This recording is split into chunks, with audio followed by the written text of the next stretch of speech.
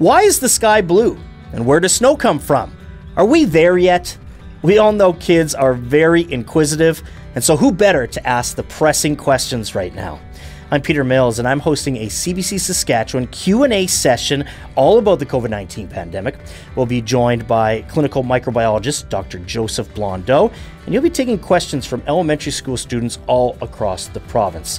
We're going to talk to the kids about how their lives have been affected by COVID-19, covering topics like vaccines, masks, sports, school, and much more. That's happening May 19th on the CBC Saskatchewan YouTube page. And you'll be able to submit your questions by putting them in the comments section. So, again, head over and subscribe to the CBC Saskatchewan YouTube page to find out more details about the event.